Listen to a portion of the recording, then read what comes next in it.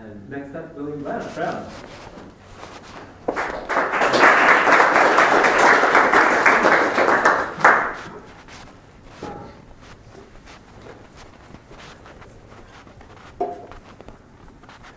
got this idea to uh, wear my day clothes to bed at night, my daytime clothes that were comfortable, like pajamas, uh, but not like sweatpants or anything like that.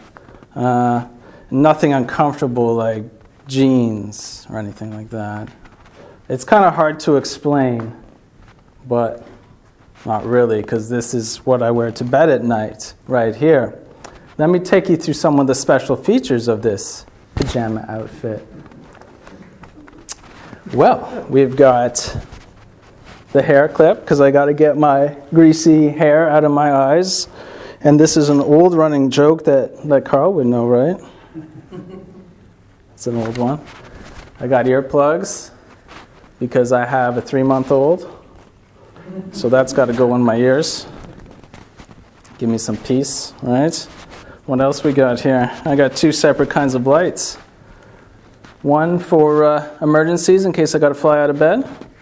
One for reading to go along with my uh, Bach's rescue remedy because I got insomnia.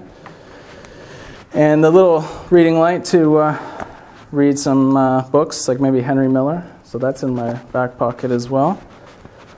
So this is all that I have to go to bed in. If you can believe it, I sleep in all this. But um, I also read somewhere that um, the police they serve their warrants at five in the morning to catch you when you're most vulnerable, to catch you off guard, to catch you in your pajamas. So not me. So when the police come to arrest me for my poems, I'll be ready to go.